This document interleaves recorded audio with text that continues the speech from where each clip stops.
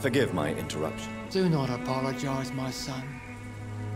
Father Tobias Whitaker is always happy to teach mortals about the incoming Armageddon. I am Dr. Jonathan Reid, and I just have a few questions. A scientist? You are much more lost than I thought, my son. Do you know Nurse Dorothy Crane from the Pembroke Hospital? I'd like to know more about her. I don't like the liberal ideas of nurses, but I especially abhor that Nurse Crane you mentioned. So, you're not exactly a fan of Florence Nightingale's work. But nurses are essential for modern healthcare. Nuns should be the only women allowed to take care of male patients. It's obvious only they have the necessary moral fiber. Why do you hate Nurse Crane more than other nurses? Before coming to London, she was a member of the communist resistance in her country. That's what happens when you let a woman get involved in politics.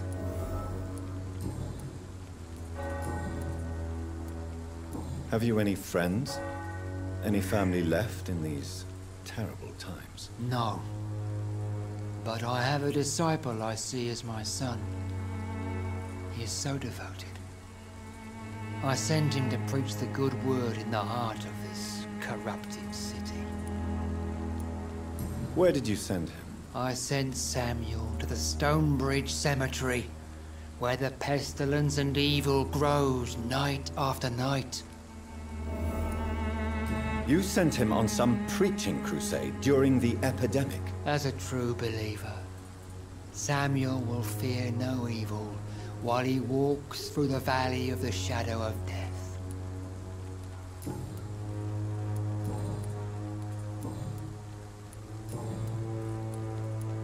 I have heard enough for tonight. Goodbye.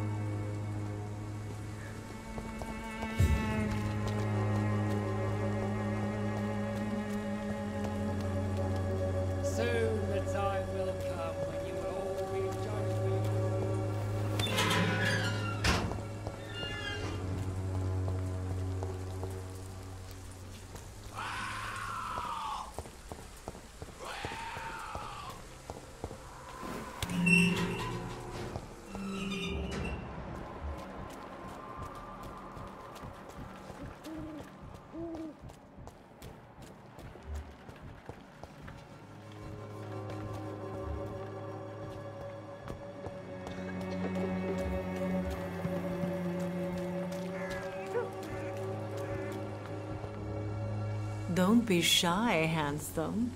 What can Christina do for you? I'm not looking for what you're selling. But I'd like to ask you a few questions, if I may. I'm a doctor. Dr. Reid. All right then, but be quick. Though I usually get paid when I open my mouth.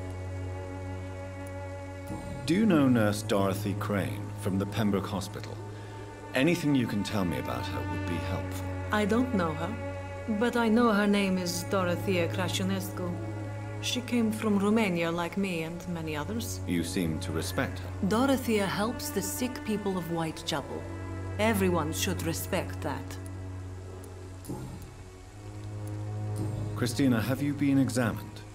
The epidemic is spreading fast in London, and you could be exposed. Or expose others. I don't like doctors or hospitals, but I don't like you asking questions. You can put your own life in danger, that's your decision. But what about your clients? If you're contaminated, you will put them in danger too. And you think that would worry me? If you knew the men I deal with, their health would not be what you'd worry about. Considering your line of work, I assure you it is only a matter of time before you have health issues. If it is going to happen, it will happen. Right now, I need money. That's what's important. Clayton Darby claims he will expose the crisis in Whitechapel to all of London. Do you believe him? I believe Clayton's courage will erode with time, until he finally leaves Whitechapel to start another fight somewhere else. Why this skepticism? How can you speak about starvation if you've never been hungry? Or about poverty? Or anything else you have never suffered from? Are you talking from experience? I've seen your type come here to get a good fuck in a cheap room or a dark alley before going back to their fancy houses in the West End.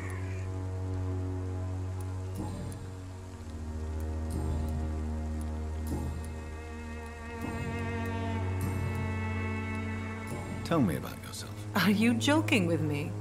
People don't usually come to see me for conversation. I have no interest in your work. I am, however, curious as to what led you into this career.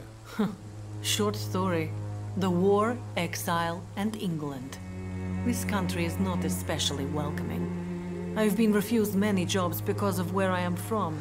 I had few options left. I always thought I was the master of my own fate. But now I know we don't always have control over our lives. I don't judge you. You know, this money is not only for me. I have good reasons to need this money quickly. But it is not your concern, Doctor.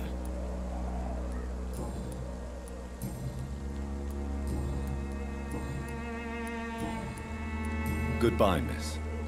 Take care of yourself as best you can.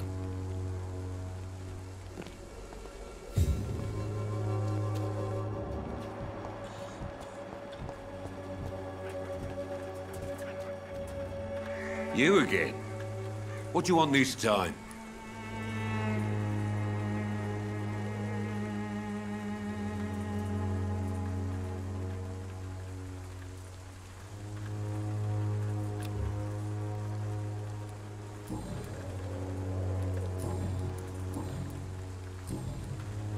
Goodbye, Mr. Peterson.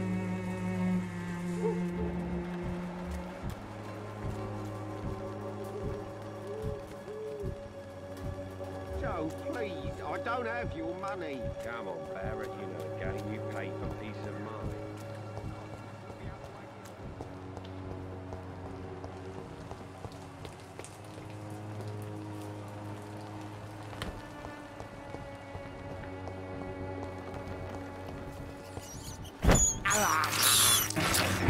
This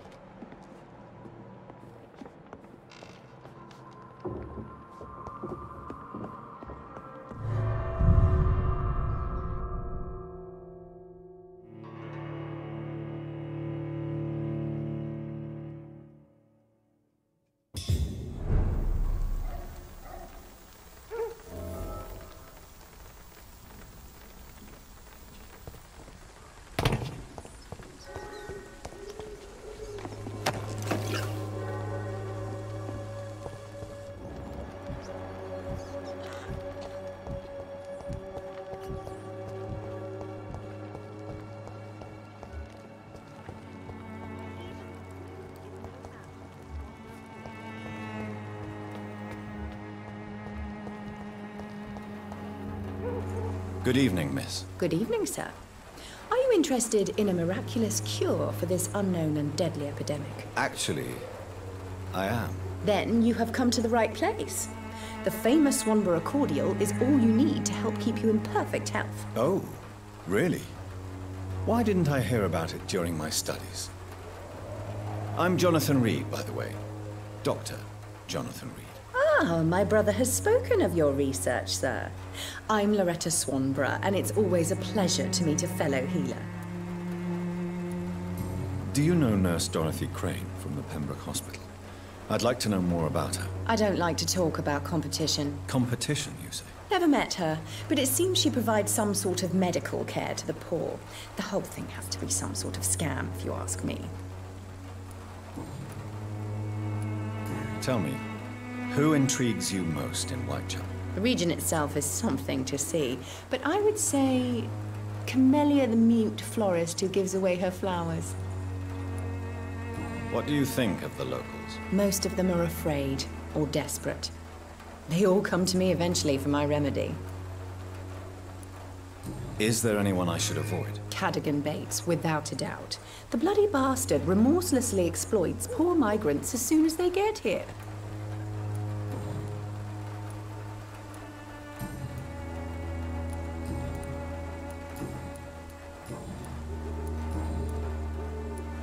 Goodbye, Miss Swanborough. Perhaps we'll talk again. Its effectiveness has been proven by many. Even the flu is no match for the Swanborough cordial. When science fails you, this elixir will give you faith again.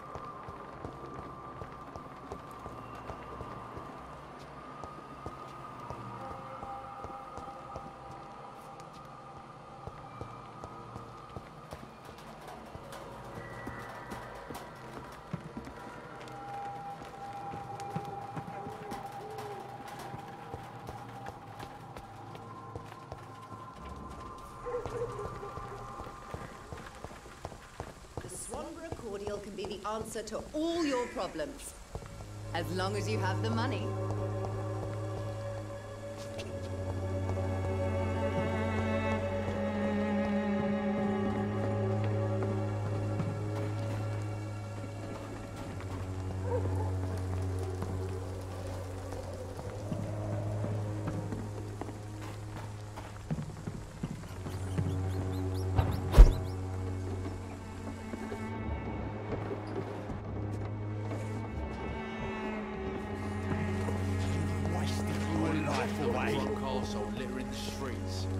What? Shooting a boy in the middle of a street. Not the best thing to do, wouldn't you say? What? You saw what happened? Wh- Who are you? I'm Dr. Reid, and I'd like to ask you a few questions, if you promise me to set your gun aside. No. Look, I I'm not a violent man. I'm Benjamin Palmer, doctor. And no one can help me. Not even you. Do you know Nurse Dorothy Crane from the Pembroke Hospital? Have you heard anything? It's funny, I've been searching for her too. I need some pills. But the woman is a phantom, if you ask me. Really? And why is that? Word is she ain't real. She's a cover for some doctor who runs an illegal dispensary for migrants. What can you tell me about this place? Nothing to say, really. This is where I used to live, and this is where I live now. You don't have anywhere to go. No family that would welcome you. Not since the death of my wife, Albert's mother. She was sick, you see. Long before the flu and all this shit. You mean you used to have a better life? Yeah, I had a wife, a home, and a job. I even used to have a name. Now I'm just Ben. Ben the Trap. Perhaps you could focus for a moment and tell me your troubles. I'm sick, broke, and my son just stole my pills. Everything's coming up roses. Do you know Nurse Dorothy Crane from the Pembroke Hospital? Have you heard anything? It's funny, I've been searching for her too. I need some pills. But the woman is a phantom, if you ask me. Really?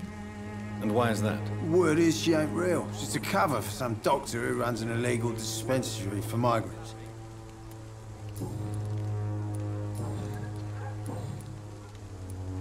Whatever the boy did, I'm sure he didn't deserve a public execution. I swear I didn't want to hit him. It's just that I'm sick in the head, you see, and the boy just just frayed me last nerve. I have found a very interesting letter. Your son planned to prove his worth to the gang by stealing your medicine. Oh, I see. So the little bugger thought he could use his dad to build a reputation. The gang's recruiter was dead when I found him. Perhaps you should take better care of your son. I love my Albert, sir. Believe me. It's just... Well, I'm an arsehole, I suppose. Anyway, thanks for the letter. This is for your trouble.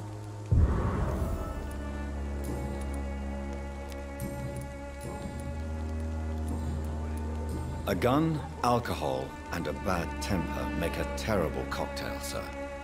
Goodbye for now.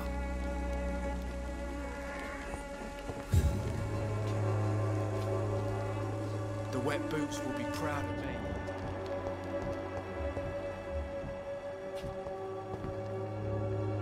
Are you all right? The bastard hit the wall next to me. I don't even know if he meant to miss. If you've been hurt, I can help you. I'm a doctor. Name's Albert. Remember it.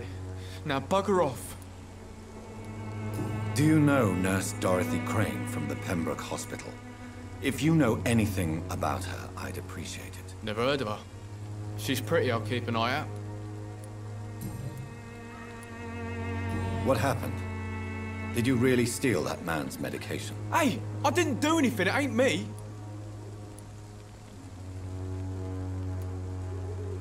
Yes, you did. And it was cowardly and inexcusable. Sod off, mister. You ain't got no clue what's going on here. Bastard was a soldier in the war, so now he's got the right to shoot me. It's true. I'm not familiar with this part of town. Perhaps you could help me. I said sod off. Go find yourself another guide.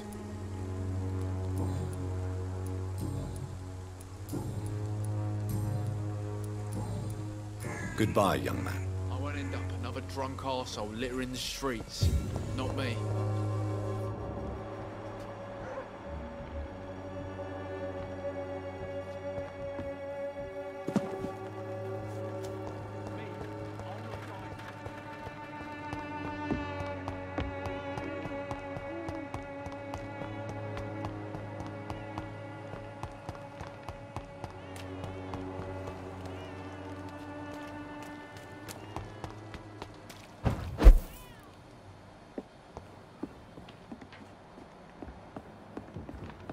It's locked.